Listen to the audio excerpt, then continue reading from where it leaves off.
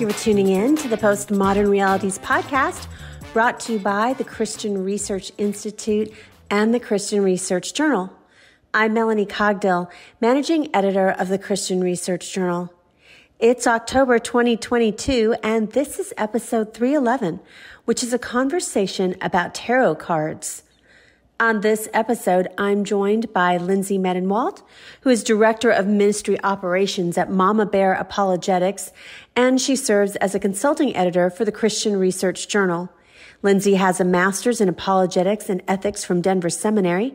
She has a JD from St. Mary's School of Law, and she has a master's in public administration from Midwestern State University.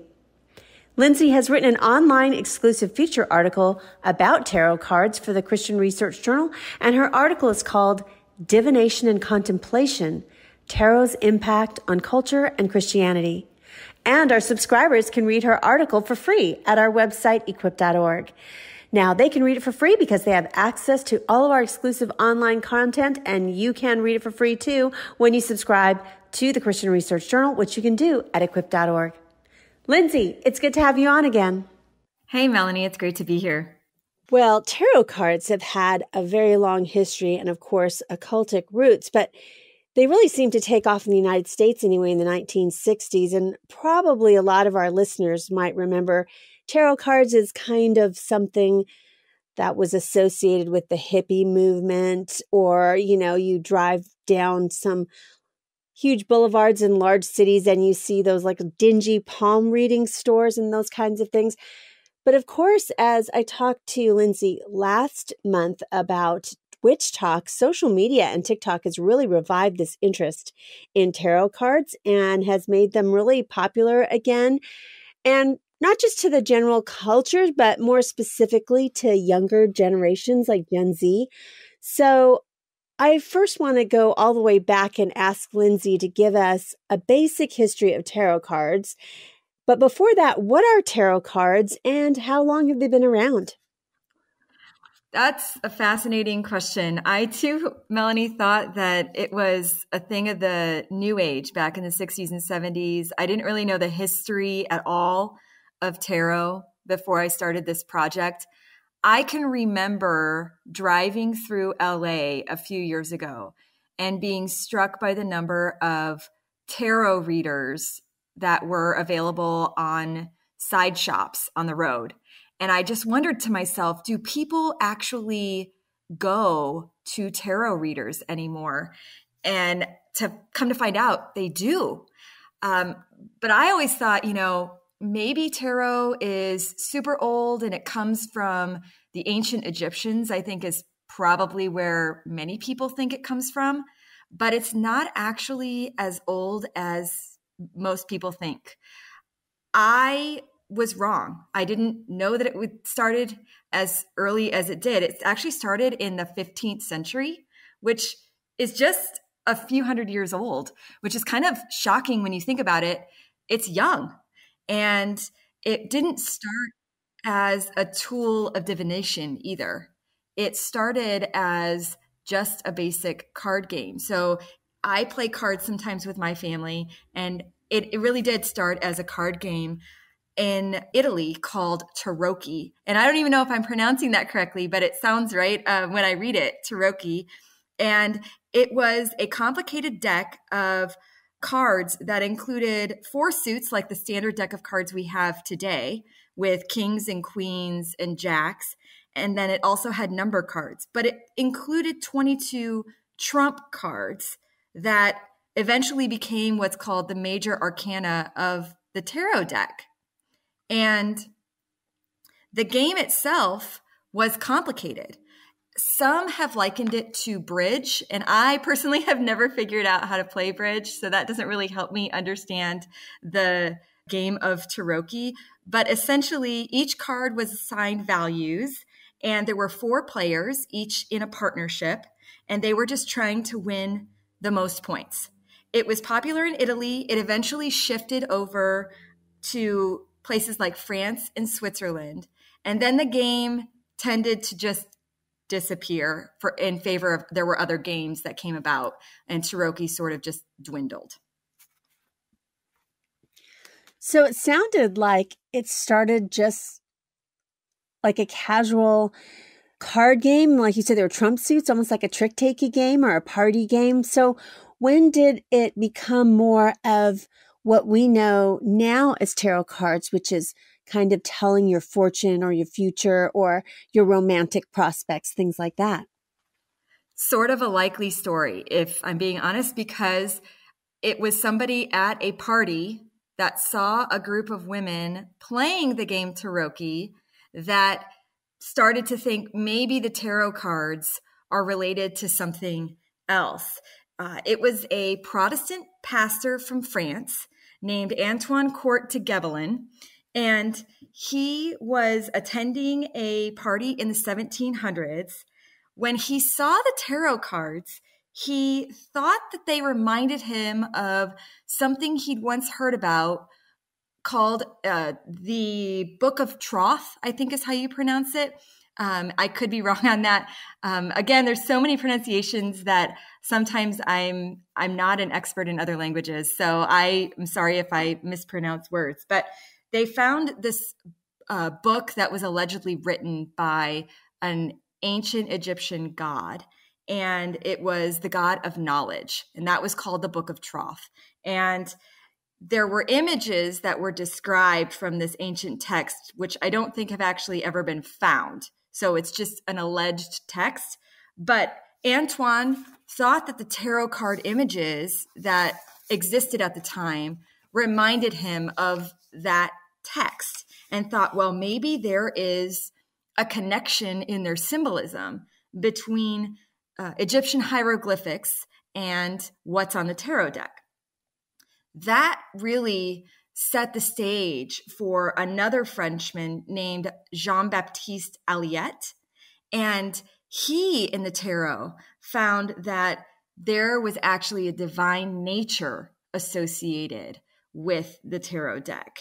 And he published actually a few books about it saying, hey, we can use tarot as a means of divination. And look, it goes all the way back to Egypt. And so we can definitely rely on it for its divine nature. And then in the mid 1800s, we have a former Catholic deacon who became an occultist who claimed that you could actually find universal knowledge and truth in the tarot deck. You could use it for divine purposes. And that, I think, is really when the game of Tarocchi ended and tarot cards as we know it as a divine tool of the occult really was born. That's so interesting that it became an occultic tool through somebody involved in religion from clergy. That's fascinating. I have been stunned actually by the number of so called Christians who have started to talk about the tarot cards. And I was very fascinated by the fact that Catholics and Protestants in particular were drawn into tarot. Well, you know, we I started this podcast by saying that I my image of tarot cards is like very we talked about 1960s hippies, you know, drug culture kind of a thing that people did back then and that it's kind of outdated or part of the new age movement, but it's, you know, very passe. But as we talked about last time you were on the podcast, some of these different occultic things have really seen a revival on social media. So, what is the popularity of tarot cards right now? I would say tarot cards are very popular, especially when we are looking at Gen Z. We've seen a large number of Gen Z um, people really seeking truth through tarot and other occultic measures. So they're not just using tarot cards necessarily, but tarot has really seen a spike, particularly when we talk about um, the COVID quarantine, it provided an opportunity for people to seek spirituality in in different ways and uh, occultic means like crystals and Ouija boards and also tarot. There are a couple of reasons why I think this might be true, Melanie, and I've tried been trying to think about why young people would be drawn to something like tarot cards. And I think it's partly to do with the fact that they're just really trying to find a way to be spiritual but not religious. Religion, in some ways, has received sort of a bad rap. And if you can be spiritual without having to go to church, then why wouldn't you try? I think is some of the way that um, Gen Zers and millennials have approached the topic. And so they found that tarot can be easily accessible. They can use it in their own home and they don't have to actually go to a tarot shop anymore because of social media like TikTok, where you can find tarot readers online who will help you read your cards, sometimes even for free. They won't even charge to do it. And I think it becomes really attractive to a young person who can just access that right on their phones wherever they are. And we've seen that in the popularity of TikTok um, and particularly the tarot hashtag. We've talked about hashtags before, but essentially it is something that you can follow on TikTok and tag yourself or tag a topic so that you can easily find that topic within all of the posts that exists on TikTok. And tarot, hashtag tarot, has almost 35 billion views. That is a lot of people watching things about tarot. And the other thing about tarot cards is that they're super easily accessible these days. You don't have to go to the occultic shop downtown to find tarot cards. You can buy them in Target. You can buy them on Amazon. You really can buy them anywhere that you buy anything else at this point. And we're even seeing that tarot is celebrated in things like fashion, which I was very surprised by. And I think you follow some fashion. So I don't know if you were surprised by this, but um, Christian Dior actually had a whole fashion line a couple of springs ago about tarot and revolved around tarot.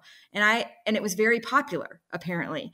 Um, so we know as people viewing this from the outside that tarot is out there that it's being celebrated by our current culture and that it's not a thing of the past that it's actually here and now and very very trendy. You're listening to the postmodern realities podcast brought to you by the christian research journal Lindsay Medenwaldt and I are talking about tarot cards, and she's a consulting editor for the journal, and her online exclusive feature article is called Divination and Contemplation, Tarot's Impact on Culture and Christianity. And you don't want to miss out on reading it, but it's an online exclusive. So of course our subscribers can read her article for free at our website, equip.org, because they have access to all of our online exclusive articles. But if you would like to read this article, which is not in the print edition, but only online, and you don't already subscribe, please do so at equip.org for 3350. And we would like to continue to grow our subscriptions. And we think that this is a very important and vital resource for Christians to really be able to be equipped in their faith and in sharing their faith and find out about the latest trends that are challenging Christianity, just like this particular one that's seen a huge resurgence with Gen Z, especially on social media like TikTok. So you don't want to miss out on reading her analysis of the new tarot card trend. But also, we would like you to partner with us. And of course, a subscription would be the best way that we would like to have you partner with us. Or maybe you're a subscriber. You could give it as a gift to a friend or a family member, or particularly the pastors or pastoral staff or church staff at you're the church that you attend. So this is a really great resource for them because they don't always have time to do a deep dive into what's going on with tarot cards, for example. And we have done that work that will be able to equip them when they read the article. Now, the other way that you can really help us out is just continue to just tell friends about this podcast and about the magazine. And of course, we really would appreciate some ratings and reviews because it helps us with the algorithm online and everything is driven by the algorithm on the internet. And so in order for our podcast to be seen or people to know about our website or our magazine, we need help from the algorithm. And you can help us with that by just giving us a short written review at Apple Podcasts. We'd be really grateful if you did that. Or you can just help us out by giving us a tip for all this content that you get on the podcast. You just head on over to equip.org and just click on to Christian Research Journal. Actually, it says journal there and then Postmodern Realities podcast. Every single one of our landing pages has a link where you can give us a tip. And thank you for considering about how you can partner with us so that we can continue to bring you this content. So we've kind of talked about the history of tarot cards and also its popularity specifically with the younger set, the Gen Z set, and the people who are just kind of like digital natives that are seeing it on social media. But one thing I want to know is what about the deck itself? So I know there's like pictures on it. Are all tarot decks the same? Is it a standard deck of cards like a regular playing card set that always has the same suits and those kinds of things? And then is there a particular deck uh, are there different kinds like or different styles of decks and what seems to be the most popular right now? That is another fascinating story, Melanie. One of the things I love about researching topics like this is the number of rabbit holes that you can fall and find yourself in for days, even. And I have a particular interest in secret societies and have always kind of loved reading about them and researching them. And I was excited in some ways to find that there was a secret society behind one of the most popular tarot decks out there. And the secret society was founded by the Freemasons, which has its own sort of secret society feel to it. The Golden Dawn was founded by the Freemasons in the late 1800s. And the difference between the Freemasons and the Golden Dawn is that both men and women were accepted to the Golden Dawn. And they devoted themselves to looking at the occult and studying magic and learning all about paranormal activities. So it kind of makes sense that they were really drawn to the tarot and, and that it was interesting to them. I found that there were a couple of popular members of the Golden Dawn who were responsible for tarot, I think, staying in the fray, like still being here. And those two people are Arthur Waite and Aleister Crowley. And Waite believed that the tarot was a path to spiritual enlightenment. And he very much thought that you could not only learn more about yourself and, and develop your self knowledge, but learn more about the spirit world through the tarot deck.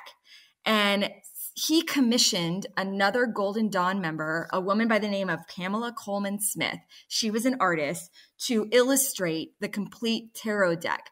At that point, I, the deck was not completely illustrated. She illustrated every single card, all all 78 of them, and she made them beautiful. And that tarot deck is is is the most popular tarot deck even today.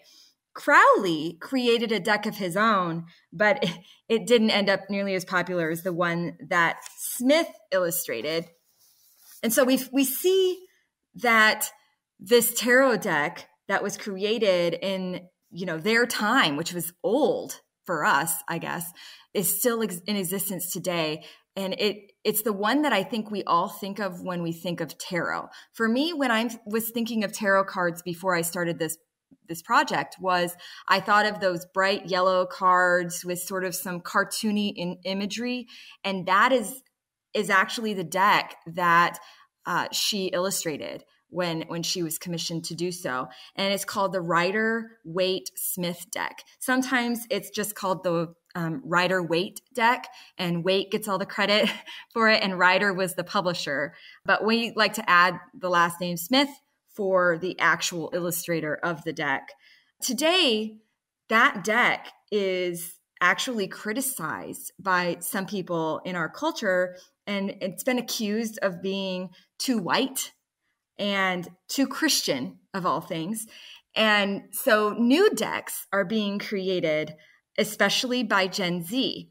And they're using some platforms that are not novel to them. They might be novel to some people who have not been raised on digital devices, but they're using crowdfunding sites like Kickstarter to convince people to support them to create more diverse tarot decks.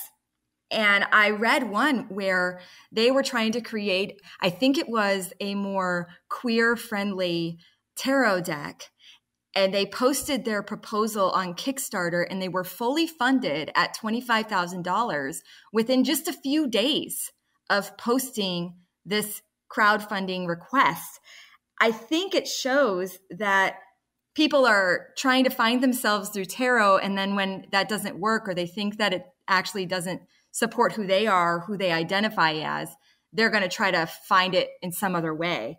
But now you can find all sorts of decks that are based on the original Rider Waite Smith deck, but that include characters who are not predominantly white. It includes female characters or members of LGBTQ that are represented on the cards. And it's sometimes includes colors that are not so in your face and vivid, but more muted.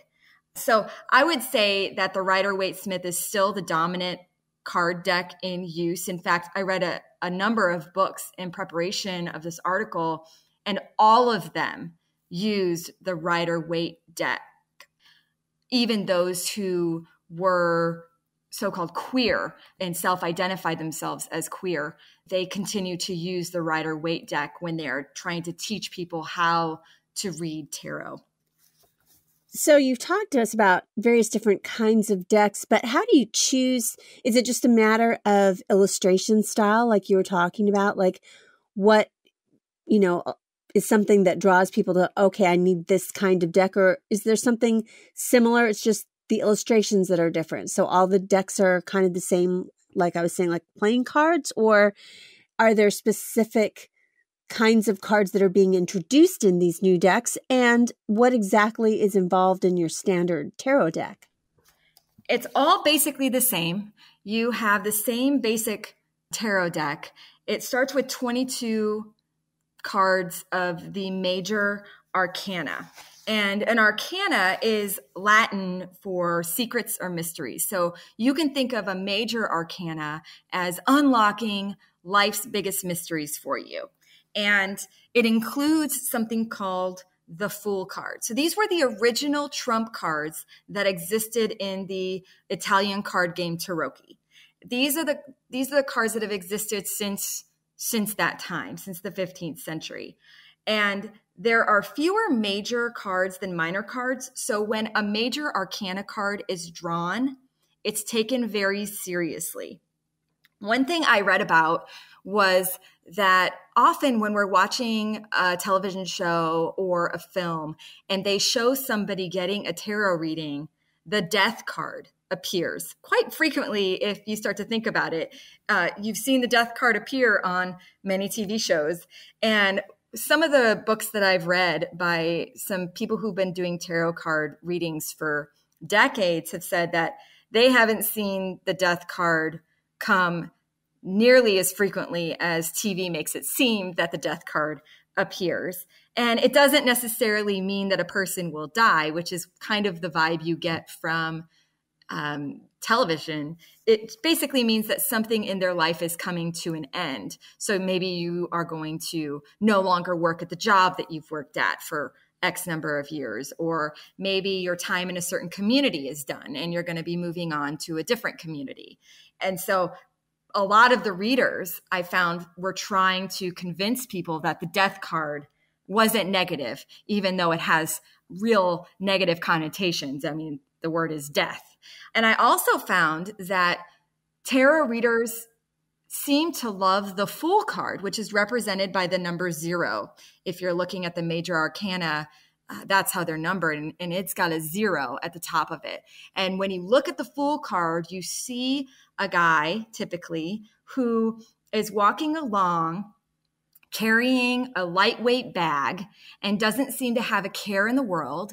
There's usually a dog that's running along at his legs, uh, kind of nipping at his ankles, and he's about to walk off a cliff. and that's why he's called the fool. And he doesn't even notice that he's about to walk off the cliff.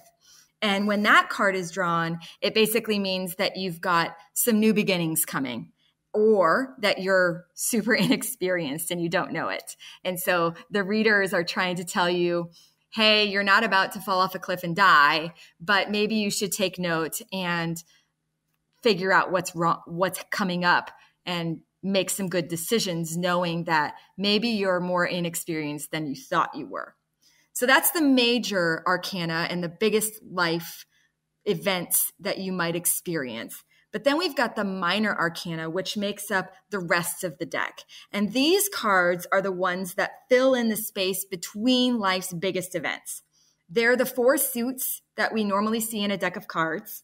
And uh, the way that they are labeled is, is it varies between card decks, but it's usually with um, wands and cups and swords and pentacles. And they are indicative of the different elements that we see in the planets, including earth, air, fire, and water. So that won't be unusual to those who have studied the New Age or have heard some of our recent podcasts about the New Age or read some articles about the New Age. Those elements are frequently used with magic.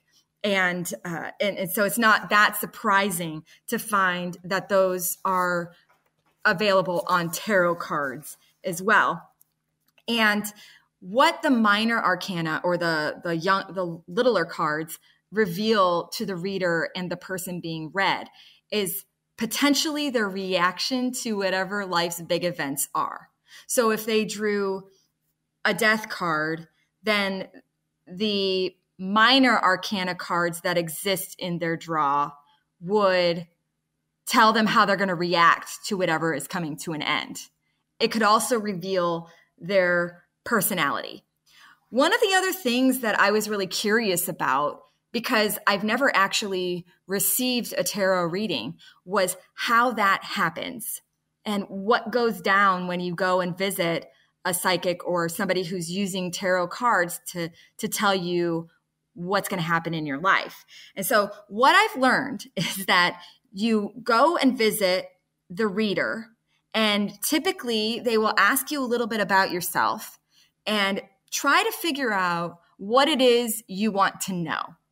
It's usually around one particular question, or it could be a series of questions, or it could just be general knowledge about what you can expect to happen in your life. And based on that, the reader will shuffle the deck, which is a really important process. And during that time, the reader will think about the question and you will think about the question. And when you are comfortable with the reader to draw the cards, you tell them to end the shuffle. I was really fascinated that the shuffle was such an important part of getting a tarot reading. I wasn't expecting that. It's almost described as a meditative process by some of the books that I read. And I, I thought that was very interesting. And, and like I said, I wasn't expecting the shuffle to be so important.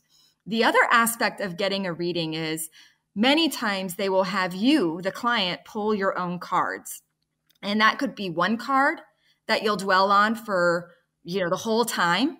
Or it could be up to 10 cards that they draw or that you draw that will lead them to an analysis of your life or uh, help you um, sort through whatever questions you might have and and so there's a lot of control that comes from the client themselves and not just the person reading the cards.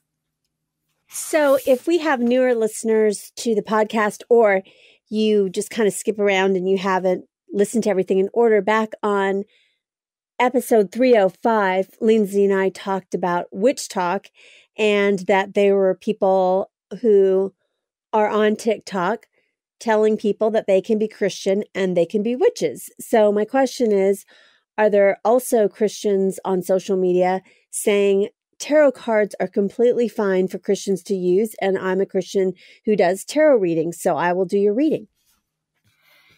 Melanie, I have reached a point where I've stopped being surprised by the unfortunate answer to that type of question before I did the WitchTok article, I was under the assumption that most Christians tried to at least avoid um, any whiffs of the occult. And then we did. We learned about the Christian witches who said that you could worship Jesus and practice magic at the same time. So that leads me to the idea and the question of whether or not Christians could use tarot cards or if there are actually Christians who use tarot cards. And the short answer is yes.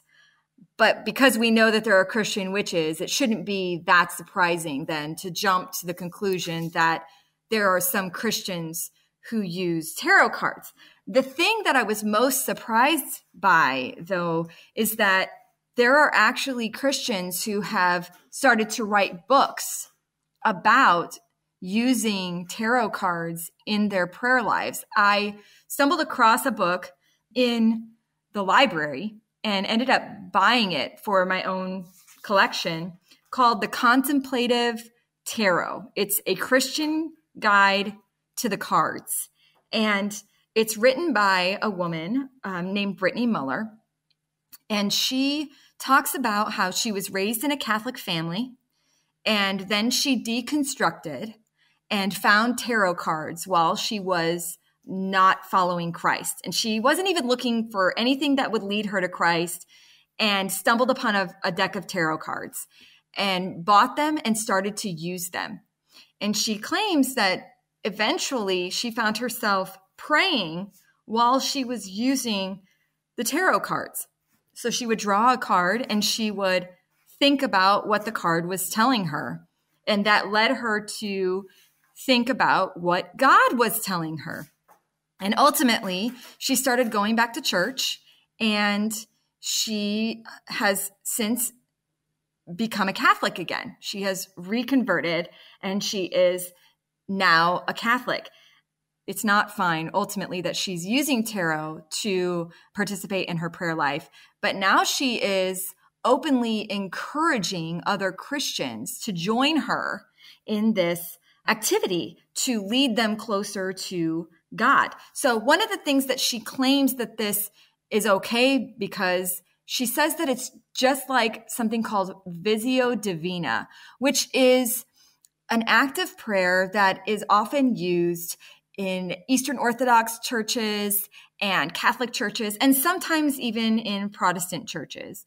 And essentially, what happens is somebody reads some scripture and then they look at a picture. Usually, it's a religious picture or icon, is sometimes what it's called. And then they pray. And that picture and the reading of scripture helps lead them through their prayer and in closer walk with God. The author of this book claims that she can use the tarot to help her with this spiritual practice. And she says that that's okay because there are Christian images in tarot cards. So when I read that line, I went back and I looked at the tarot deck and I tried to find all of the Christian imagery that she was talking about. And I could tell you that the imagery on tarot cards does look very something that you would find in a Catholic church or in an Eastern Orthodox church sort of like pictures of the saints, if that's a good way to draw a parallel. And you also see crosses, there are images of angels, and of course, there's the devil himself. So there are definitely Christian images on the cards. And so she uses that knowledge to then read the cards through a Christian lens. So let me describe what that looks like because I think the listeners might be a little confused at this point because I was. How can we read occultic tools to suit our Christian needs? And she has basically reinterpreted the meanings of the cards themselves. And let me give you an example the Fool card.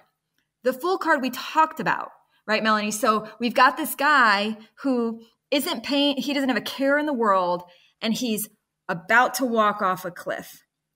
she's got the picture of the fool card and then under it she's got 1 Corinthians 3:18 which says do not deceive yourselves if you think that you are wise in this age you should become fools so that you may become wise then she says that this image of the fool is a young person who has stripped himself of worldly attachments and is joyfully stepping off the cliff to fall into the abyss of God.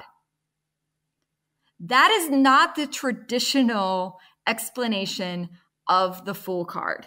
And she then calls this fool a holy fool and asks the reader to reflect on specific questions when they pray. So for the Fool card, she says, What's holding you back from submitting fully to God? And how can you take yourself less seriously in life, like the Fool does? This is problematic. This is problematic for, for many reasons.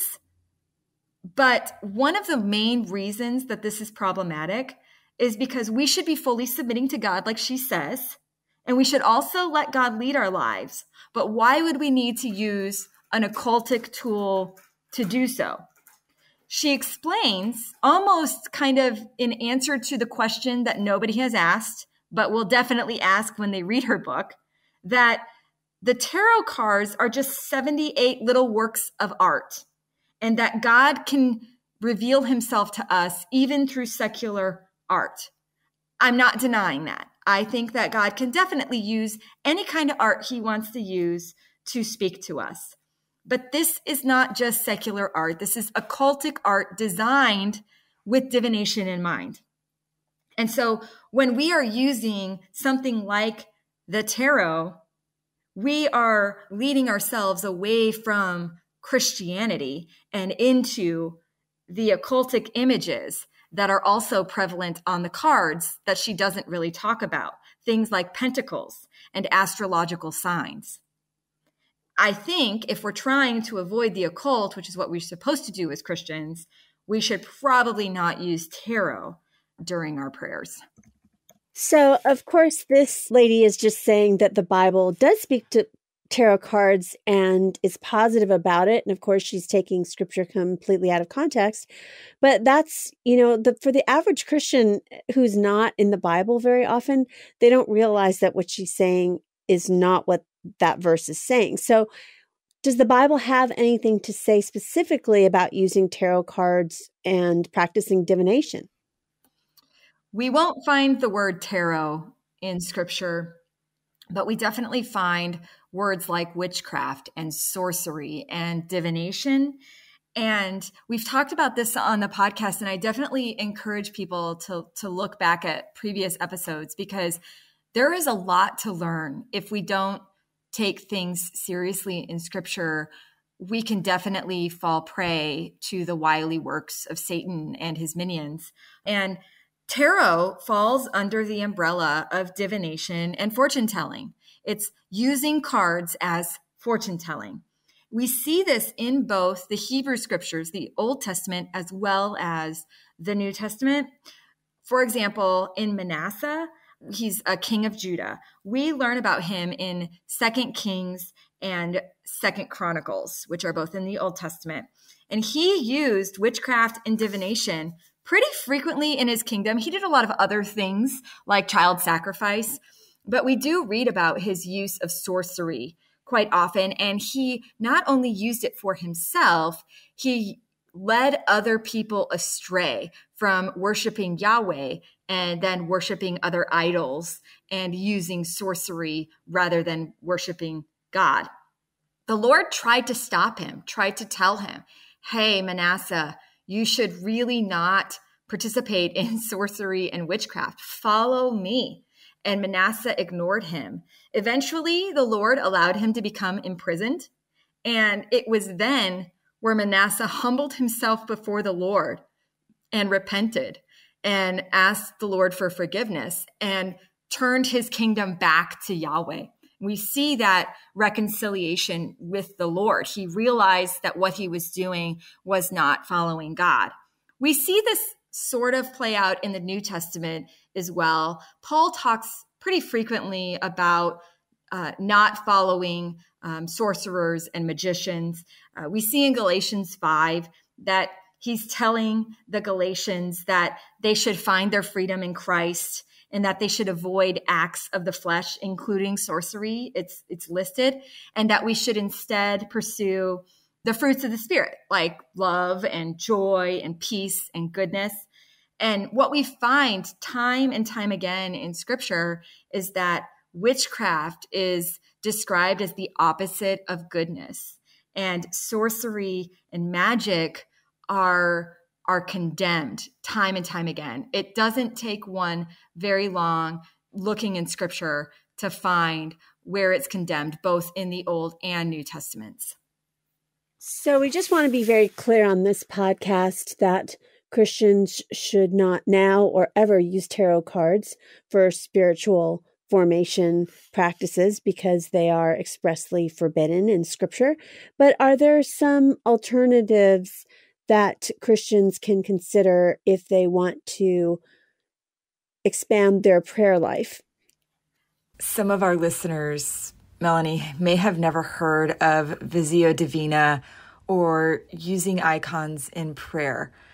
The Christian Research Journal has actually done an article as recently as 2019, and that article is available online. And it discusses John of Damascus and icons. An icon, in the most simple explanation, is usually a painting and is typically religious in nature. It's considered sacred. So, in his article about John of Damascus, the author, Nathan Jacobs, reminds us that this type of worship is not against the second commandment.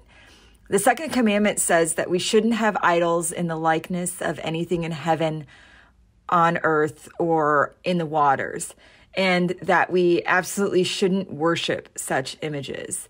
But John of Damascus wrote that this commandment prohibits the worship of creation, nature, and demons. On the other hand, it is fine to honor people, places, and things. John of Damascus believed that it was possible for creatures to serve as conduits for divine energy and grace. So, using icons in this way can help someone who worships God focus more squarely on Him and what He has done for us.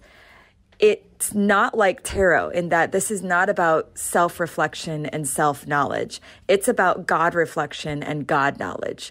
We are growing closer to God by knowing Him better. So there are probably some of the listeners to this podcast that know people or have family members or know people with kids that are getting involved in tarot cards and use them.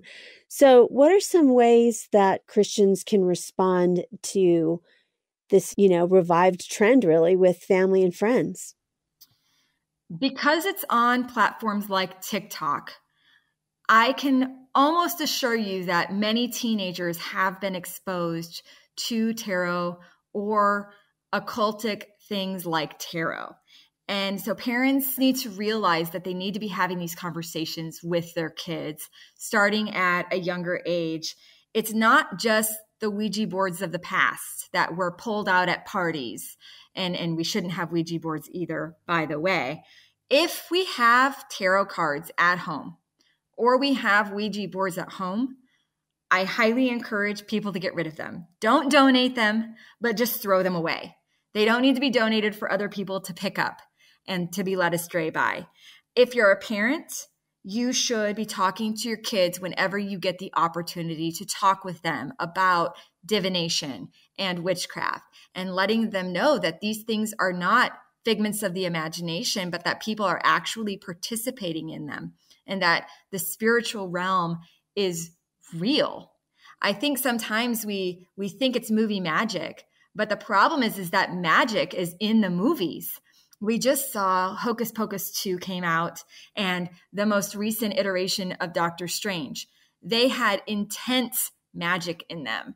And yes, Hocus Pocus 2 was intended to be funny, but a lot of the witchcraft in that film is not actually funny. They're sucking the life out of children so that they can live. That's not funny.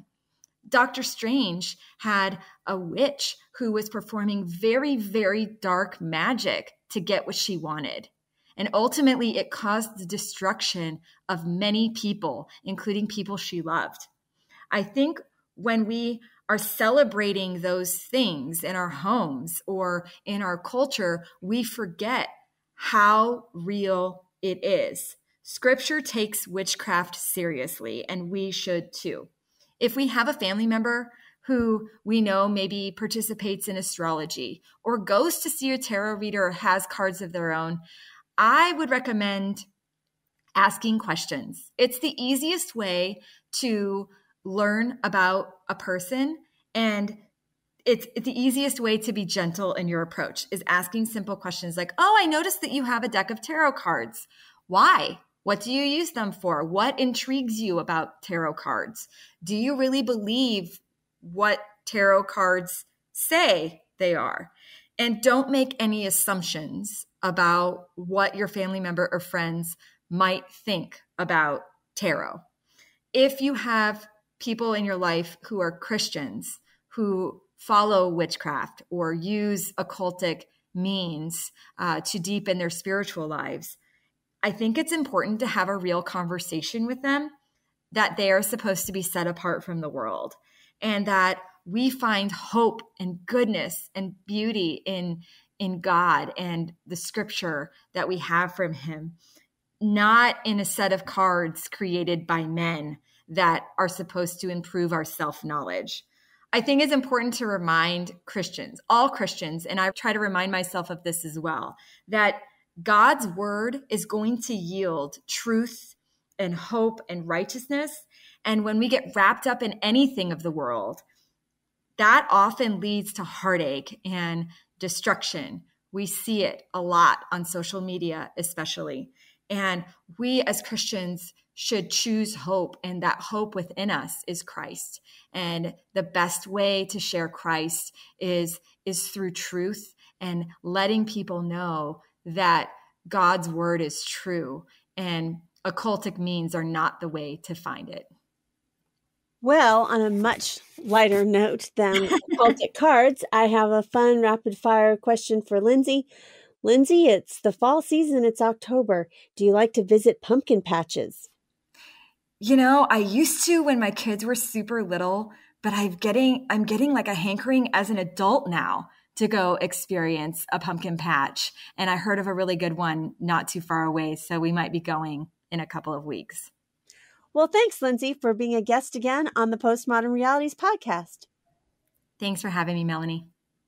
You've been listening to episode 311 of the Postmodern Realities podcast brought to you by the Christian Research Journal. Today's guest was Lindsay Medenwaldt. She has written an online exclusive feature article about tarot cards, and her article is called Divination and Contemplation Tarot's impact on culture and Christianity. And our subscribers can read her article for free at our website, equip.org. Now, if you would like to be equipped by this very timely and important article and you don't already subscribe, please go to our website, equip.org and subscribe for 3350 where when you do so, you will be able to get all the access to our online content that's exclusive as well as the print issues straight to your door. Stay connected with the Christian Research Institute and all the new content we have coming your way. The best way to do that is to head on over to our website, equip.org. There you will find thousands of free resources right at your fingertips, from articles to video to audio, and it's all for free. You'll find our podcasts hosted there as well as the Bible Answer Man broadcast which is hosted by CRI President Hank Hanegraaff and streams live every Monday through Friday at 6 p.m. Eastern. In addition, you don't want to miss out on subscribing to Hank Unplugged, which is the podcast of Hank Hanegraaff. And in that podcast, he has really in depth, free flowing, essential Christian conversations with some of the most interesting, informative, and inspirational people. And in addition, he has a new series on his podcast feed called Hank Unplugged Shorts, which Hank goes into the headlines in the mainstream media and refutes a lot of those cultural issues that we have in these short podcast episodes. And there's quite a few of them. You don't want to miss out on them. Now, if you want to find some of this at other places where it's all in one place, really subscribe to our YouTube channel. It's a great way to get all of our content there, our podcasts there, and different individual questions theologically that people have that Hank answers at our YouTube channel. Now, you might be thinking to yourself, I don't know how to subscribe to YouTube. I don't have a YouTube account. Well, actually, you might just have a YouTube account. If you have a Gmail address, you have a YouTube account. Just log into YouTube with your Gmail address and search for Bible Answer Man channel and please become one of our subscribers. In addition, if you see that bell icon right there on our front page, please click that. And every time that we have new content, you will receive a notification that new content is up on our channel for you to be able to consume. So thank you so much for the ways in which you partner with the Christian Research Institute. We are grateful for you listening and reading and watching.